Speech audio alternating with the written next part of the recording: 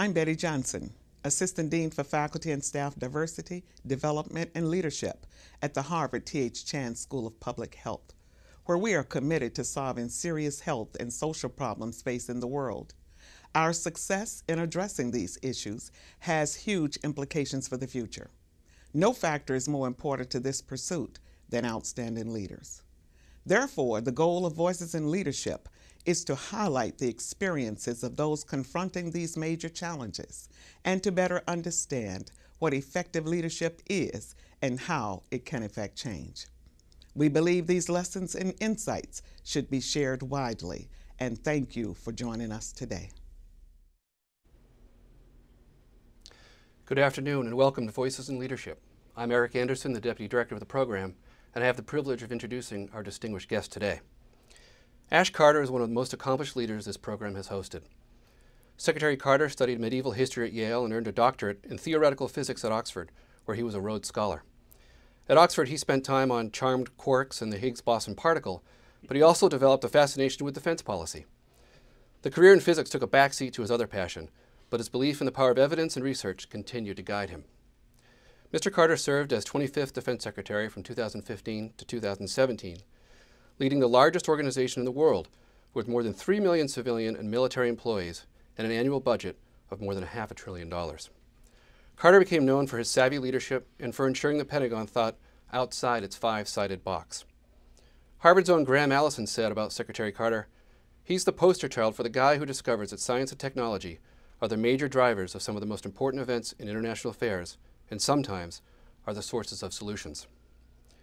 With this critical understanding of the importance of science and technology, Secretary Carter spearheaded revolutionary improvements to the De Defense Department. At DoD, he launched six transformative Forces of Future initiatives to change the way the department recruits, trains, and retains quality people. And he also directed the opening of all military positions to women without exception. Secretary Carter has traded roles in academia for high-level positions at the Defense Department, serving President Clinton from 1993 to 1996, and then returning during the Obama administration from 2009 to 2017. For his government service, Secretary Carter has been awarded the Department of Defense Distinguished Service Medal, the department's highest civilian honor, on five separate occasions. And he twice received the Joint Distinguished Service Medal from the Chairman of Joint Chiefs of Staff. Secretary Carter is currently the director of the Belfer Center at the Harvard Kennedy School. Before I turn the session over to today's interviewer, Rich Serino, the former Deputy Director of FEMA and now a Distinguished Visiting Fellow for the National Preparedness Leadership Initiative at Harvard. Please join me as we welcome Secretary Ash Carter to the Voices in Leadership series at the Harvard T.H. Chan School of Public Health. Thank you.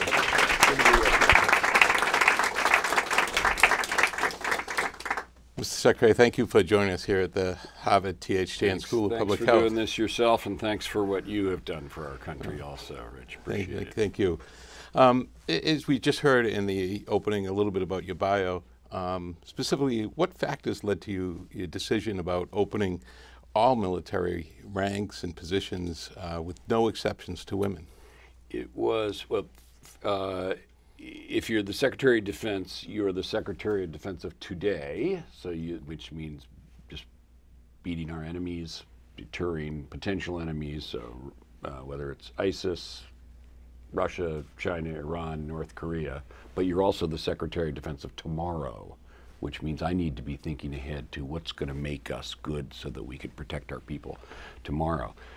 There are two big ingredients to that. One is technology, which is not the subject of, particular of this this this uh, audience and discussion, but the other is people, which very much is. Their health is part of it, but if you think of health in the large, uh, it is how do we manage the talent pool and what is, after all, an all volunteer force, Rich, as you well know. We don't have a draft. I don't want a draft. We can talk about that later. Um, I want to pick. I don't want people picked for me, is the essence of it. And, but I have to pick from the population. Uh, and we're in the labor markets and we have to compete for young uh, people and try to attract the best. Now, in that connection comes the decision about women in service. And my view was it wasn't hard to make the decision. I, I, I probably want to focus, Rich, a little bit on, on doing it. Because it's one thing in public life to know what you want to do, it's another to get away with it. uh, and uh, it, it, wasn't a hard decision for the following reason. Um, it, it, this is half of our population. For me, in a competitive talent situation, to take half the population off the table when it comes to filling positions where merit is what matters uh, doesn't make any sense. And um, so, in uh, there were some uh, uh particular areas, like being an artilleryman, that were restricted to males only. Um, and I wanted us to look at those areas and, and, and ask, and I asked the uh, uh, Chief of Staff of the Air Force, the Chief of Staff of the Army, the Commandant of the Marine Corps, the Chief of Naval Operations, the Head of Special Operations Command, the Secretary of the Air Force, Secretary of the Navy, and um, Secretary of the Army. And I said, I want each of you to provide to me your uh, recommendation, but importantly, I want the basis for it. And I want you to have to, to show me if you are going to recommend any exceptions, which almost none of them did in the end. I, I, I want to see the basis for it. And that's important because if you're going to make an important decision, you have to make sure that you have buttoned it down. You've really walked around it yourself, and there's no, no nothing that, that can cause someone reasonably say, but Mr. Secretary, what about? And you need to have thought all that all through and decided it's okay and if it's okay, be able to explain why. And so I had each of them independently go through all of that, and with only one exception, I got back answers that said, I think we can work through these things, but they identified lots of issues. And I studied very hard on this, and I worked very hard on it personally, um, because I wanted to make sure that I had mastered it, because I was going to be the one who had to defend it. And to, to bungle this would have been a historic mistake. Um, it would have set us back a decade. We wouldn't have gotten around to it again for a decade or two. And a lot of my predecessors did not want to take this step. Uh, I, I think in part for their concern that they weren't going to be able to pull it off. So it was important to me that we, we do it right and that it be bulletproof when it went out there. Because if you think about the alternative, to, to botch this would dishearten all of those females, qualified females, who aspired to occupy those positions. And we would lose the opportunity of having them. It would also dispirit all the other females in service who have chosen a different branch, maybe not artillery, but intelligence or something else, who would be confirmed in a second class citizenship in the profession to which they'd given their lives. And that also is not good for recruiting females into those specialties where I need them too. I don't only need artillerymen, I need intelligence, logistics, communications, uh, and other medical and other, other things. So to make a hash of this was a bad, bad outcome, and I wanted to make sure that that was not the case. So I studied these things, and there are issues. For example, um, if you're sending a elite team from which females have been traditionally excluded into a society that doesn't look upon gender the way we do. That is a fact of life, and I, we need to be effective. We need to be effective for our security there. And so there, there are going to be things that need to be worked around in particular circumstances. And anybody, any of you who knows, and maybe some of you have been part of the wars in Iraq, Afghanistan, and so forth, and we have worked through those things. And we know that there, there are places where male military should not go, and there are places where female military should not go. Now, that's not our choice and it's not our preference for how we conduct our own society, but if you're going to do a raid, for example, and you're going to go into a home and there are females in a home, you know that in that culture, it is, and you want to do that in a way that is not gratuitously offensive, uh, you need to have a female as part of that assault team who can deal with the women uh, in that house. So there are practical things that go that, and and and, and I, I, thought it was important that I had thought all those through. we looked at SWAT teams, we looked at astronauts, mixed gender teams of astronauts, any uh, other militaries that had successfully integrated in gender, and uh, tried to uh, work through all these issues. I thought they were all very manageable, and most of my leadership uh, that worked for me uh, thought the the the same. Uh, and so I came to the decision that, that I was I was going to do that. Notwithstanding that there is one exception to that uh, advice, I thought it was important to have a departmental or a joint solution. I wasn't going to let anybody have an exception. If, every, if there weren't going to be more than one exception, so I said everybody's going to go. We're all going to head the same direction. And I did say that um, it, look, look, it's not enough just to say we're going to do this. We need to do it right. We need to implement it. We need to, now that we've identified issues, we need to work through issues. You also have to recognize as uh, that, that there will be those service members, male service members, who don't know how to conduct themselves with respect to females that are suddenly introduced to the kind of profession, the kind of specialty they're in, and they we need to give them guidance and training so that we don't they're, they're not uh, incidents. So they're, they're, it, it, requires some work. I kept it secret that I was doing it until I did it entirely by surprise. Nobody knew. Uh, uh, because, and so I walked out one Thursday and made a statement which I'd written by myself on cardboard my favorite writing uh, surface, which said very calmly, specifically, and at great length, exactly why this was the right thing to do and how we had thought through it, looked at it from every angle, thought through everything, anticipated every possible objection, and gave the answer to that. And I wanted that all out there first, and then I said, okay, anybody want to criticize that? I think this is bulletproof. Otherwise, you're on the back foot. And they, they know you're going to make an announcement on Thursday, and every noisemaker in Washington, the press, gets to take a shot at it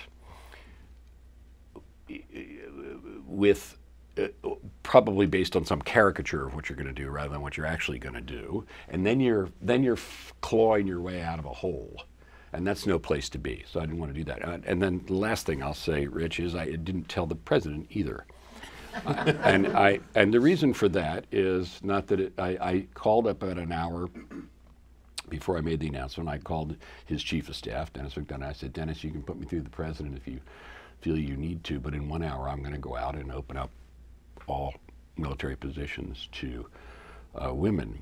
And I uh, don't imagine the president will object uh, to that, but I would ask you to please shut up about it. I don't need the help because I, it, I this can't. This has to be a professional uh, uh, uh, defense judgment. I don't want it to be in the political sphere. Uh, so I didn't want, and to his great credit, the president, whom I'm sure would have, in some political sense, liked to take credit for this, would have been popular for his, did not, and and that was that was very good. And so, so it went extremely smoothly, and the, I, there was nothing in the press, and I didn't get one letter from the Congress. not one. And you know, you can't close the most miserable little base somewhere and not get 20 letters from the from the from the from the Congress. So, so it's a, just a lesson that it's not enough to do it. You gotta you gotta do it right. And it's gone real smoothly, and I don't think anybody, you know, it's all in the rearview mirror uh, now, as it should be and we're at a uh, this this is called the voices in leadership mm-hmm, mm-hmm. and one of the things a few things that you mentioned showed some of the leadership and uh, specifically you started very first off talking about people and how important the people were but then bringing all the different groups that could shoot this down if you will within the organization and get all their buy-in and and took care just about how long did that process take from when you knew you wanted to do this until you called Dennis McDonough? Uh, well, I gave them lots of time. One of my predecessors had kicked this can down the road. He didn't think it, he could pull it off, and that's not because he was bad Secretary of Defense. I don't think he thought the time was ripe or something, and he wanted to prepare the way. Um, and so um, I began laying down tracks for this by asking the principal leaders, think this through for me and give me your responses. And I really got very thoughtful responses. Um, I remember particularly the Special Operations Command, which in a sense has the most difficulty with doing this because they do really funky things. Um, uh, were, were, ex- were extremely uh, thoughtful. It was uh, we had to have a conversation about qualifications because the key here is that what matters for military service is your qualifications to do the job. That comes. That's the point here. And so, male, female, I don't, uh, gay, straight, I don't care. Qualifications are what matter. Uh, I needed to make it clear that we were not changing what was a qualification. Uh, we were just allowing women to compete for those positions based upon those qualifications. That was important. Therefore, it was important to say, and, and this is part of the input I got, you know, don't, don't everybody think that every artillery unit is going to be 50-50, male, female. So there aren't that many females actually who want to go into artillery, for starters. Just happens, and maybe that'll change, but that's just a fact. And second, on the physical aspects of the qualifications, which are only part of the qualifications, the women on average score lower in shoulders, you know, loading artillery shells. But that doesn't mean that there aren't women who have stronger shoulders than than men. And I want to, I want them uh, I want them to have other attributes too, like the ability to make decisions and respond to things and be disciplined and all the other things that are qualifications. Uh, but I, I, I, said, let's everybody, there are no quotas here, let's everybody be realistic about this. This is opening up a competition. And uh, I, I think all, all of it's qualifications, qualifications, qualifications. That's what, and that, by the way, was true in women in service. Don't ask, don't tell. Transgender, um, uh, geography. Um, you may not know this, but almost half of our recruits come from just six states. Um, which is another. So if I say we're not in the other 50% of the population, which is female, we're not adequately in the other 44 states that are not fully represented. So there are lots of forms of diversity, but the bottom line is is getting the best people and the most qualified people. And I'll take them from any state, I'll take them in any gender, I'll take them in any sexual orientation, as long as they're the best people to do the job.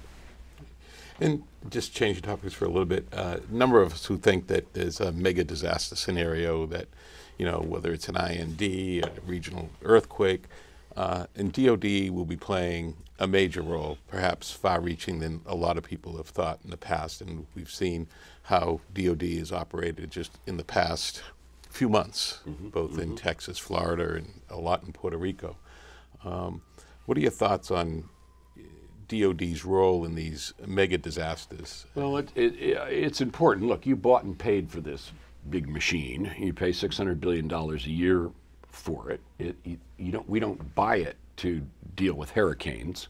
We buy it to fight wars and protect our, ourselves. But when it's there and there's a hurricane that affects our people, it is unreasonable for me not to want to apply that uh, now I can't pull people out of North out of South South Korea at the moment. I need my, my my my deterrent force there, and I can't be putting them. But I have a, I have enough stuff uh, that I can uh, uh deploy it. Now you know a lot of our people would have been working for you because the way we do this is in the federal government we're not the the people who call the shots in disasters. FEMA calls the shots in disasters.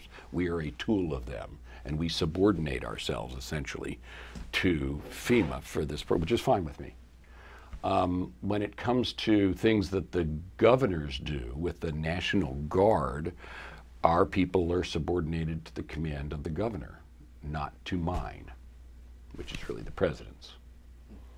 When we federalize the Guard, then the chain of command is the president to me, to them but uh, uh, that's only if they're operating in federal states. So, so this is all makes your eyes glaze over. This is just sort of the bureaucratics of getting it done. But for the citizen, citizens, as I pay my taxes, one of my fellow citizens is stricken with a disaster uh, and you've got helicopters and hospitals and people and so forth sitting around, I don't want it just sitting around. I want to use it. That's a perfectly reasonable expectation. It's up to people like us to work out the details and make sure it's uh, legal and constitutional and all that. But we can do that, and we have. With, North Korea on the minds of many people and the possibility of a nuclear incident, what, do you, what would you see DoD's role in preparing for such attack, and also from the public health part? I, I don't think a lot of people are uh, familiar a lot with the public health aspects that DoD has, and their what their response would be afterwards, and the infrastructure throughout public health. These are but to be decided on a good Boy, day, I tell you. but in the rest of the country, if something were to happen. Um, well, I mean, the, in the first case, there's much that we are doing, must do, can do to make sure we never get to the second part of your question. I don't want to be there. Uh, and with respect to North Korea, uh, uh, I've been working with North Korea. Uh, I've been working on. I, I did the strike plan in 1994 to take out their very first reactor, which we were prepared to do. Uh, we didn't do it because we reached an agreement with them that temporarily f- forestalled the, the need to do that. But so I've been to this movie now for for a couple of decades. Um, it's gotten worse because the, that was the grandfather, then there was the father, and now the son. Uh, and there are two aspects to it, Rich. I think one one is deterrence and defense, because I'd like to. The second part is diplomacy. I'd like to turn them around, but I'm not sure we can do that. I'll tell you how I'd try, but I'm not sure. And therefore, we need to make sure that we are protected, and that's why we built and deployed years ago. And I was much criticized at the time. I was the weapons czar at that time uh, and for the Pentagon, as they called it. And they said, "Why are you building missile defenses? You're wasting money. Blah blah blah. You're going to upset the Chinese, etc." And uh, but I said uh, because I don't know that someday the North Koreans won't be get to the point where they could put a nuclear weapon on top of a missile, and I can't not have my country protected. That's my job. So we did that, and so today there is we're ready now. I'm not sure they they can do it, but if they did, we would shoot it down. And um, and I think uh, our commander there, incidentally, is is uh, General Lori Robinson, is our Northcom commander, and she's the one who I don't think is more than five paces away from a a phone uh, at any time. She has the authority. She doesn't need to come to me now, Jim Mattis, or the president uh, for that. We delegated that authority because there isn't really time to think it through. And if you if you were to make a mistake, it's not cosmic to have launched an interceptor. Um, and deterrence is about the strength of the, with those 28,500 troops we have and the huge machine that would come in according to our war plan behind them to defend South Korea, destroy the North Korean military, destroy the North Korean regime. We practice that. We're prepared to do that, and and they need they know that, and we constantly try to emphasize to them that will be the outcome, and I'm confident that will be the outcome. We will win.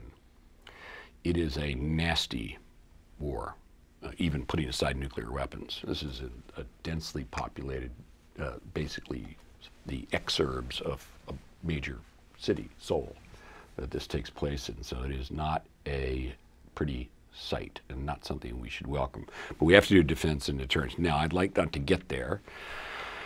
And so, what's the chances of turning them around? I know what I would do. I would. I called, and I don't know whether we're doing this. or You can't really tell from from from from the tweets and everything like this. I hope that um, uh, the Secretary of Defense and the Secretary of State are do- doing this. I think they're equipped to to do it. It's certainly the right idea. It's it's essentially mixes uh, military and diplomatic, and uh, just the short form of it, Rich, just to stop is is to say to them, look, uh, uh, no more missile tests. If you do, here's what will happen to you, and if you don't, here's what can be done for you. No more underground nuclear tests. If you do, if you don't and then you and you step by step try to get them back to uh, halt and then reverse with a mixture of inducements, some of which come from us, some which come from the Chinese, the Japanese, the South Koreans in an orchestrated way. Which what doesn't work, and which we've had mostly for the last few years, uh, not just the last one year, but a few years, is they do something and then we throw sanctions at them, which is satisfying and certainly justified and you know is good old vengeance, but it doesn't help because they've already done the thing. You need to get out in front of their decisions. That may work in it, but you have to take it bite by bite and try to get them back. And if they make the right decision enough times sequentially, we can get to a very good place with them. If they make the wrong decision enough times sequentially, why, why then that's that's that's the, that will be the road to their destruction. Um, but that's not the path we want them to go down. But it's their choice, not ours. And with the Obama's administration's commitment to the global health security agenda and the new administration's recently commitment to uh, support the global health security agenda until 2024, what's your perspective and role of importance of DoD in the global health security in respect to responding to disasters globally and emerging infectious Roughly diseases? analogous to um, uh, the the situation at home, although we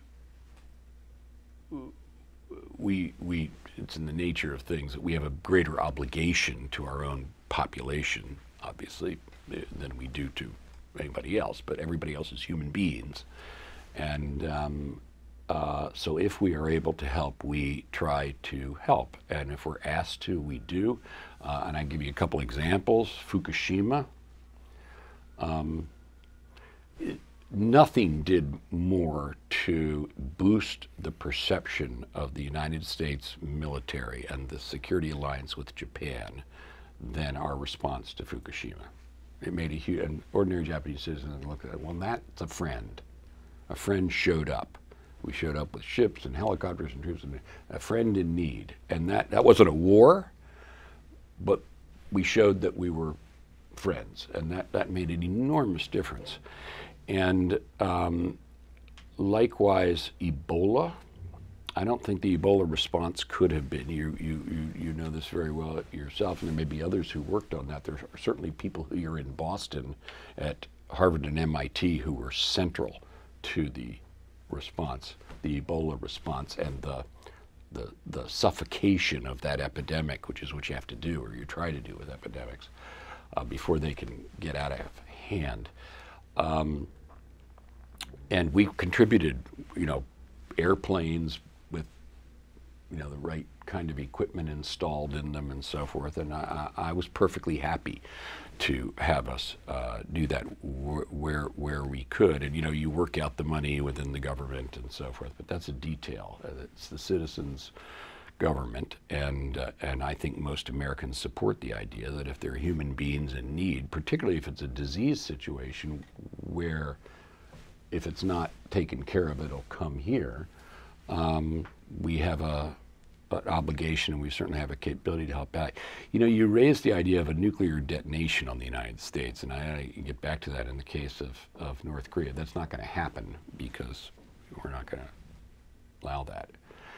But I, it, has been so long since we've conducted any uh, nuclear tests and so forth. I think people have forgotten what uh, a, a, a, even a single nuclear weapon is a nasty, nasty business.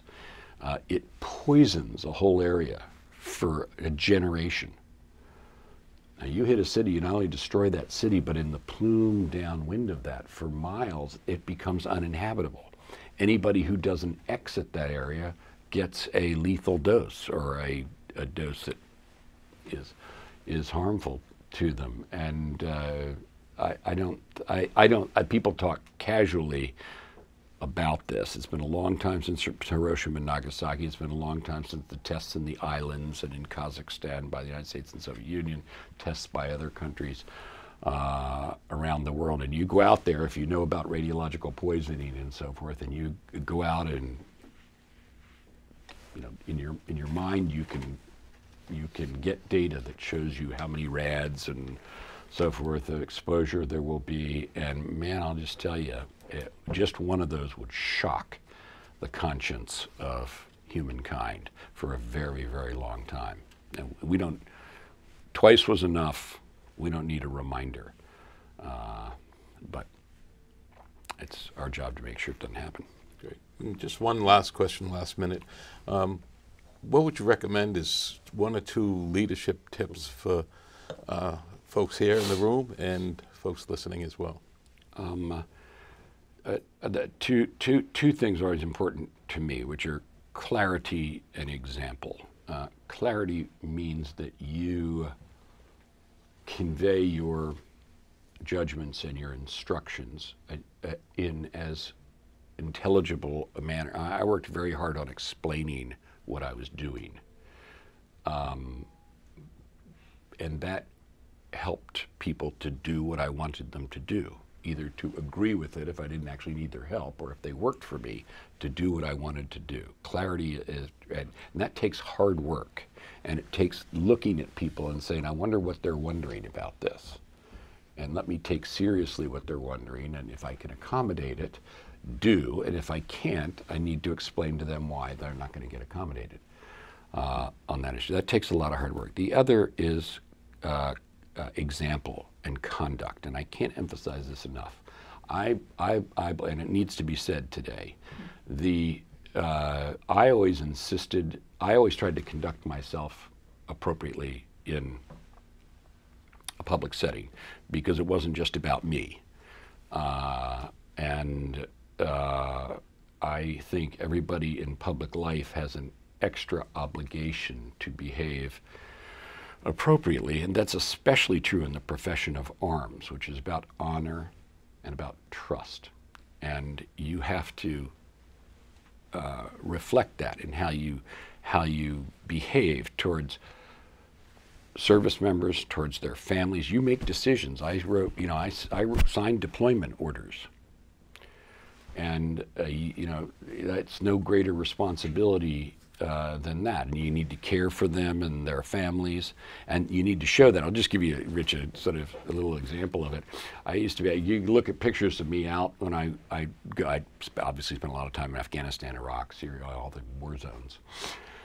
And you see me when I'm Secretary of Defense and I'm out there in the desert and it's 100 degrees and I'm talking to troops, U.S. or or Iraqi or Allied or something, big bunch of troops out there, and telling them what I want them to do and what we need them to do and what our war plan is for them, what their operations plan uh, is. And uh, there I am in a suit just like this, and you know, sweating like a wheel of cheese. and and and people would come up to me and say, "Hey, you know, want to take your suit off or take your jacket off?" And I said, "I'm not going to do that." And I'm not going to do that for the very simple reason. I, am here, I'm going to shake some kid's hand, you know, who's 18 years old.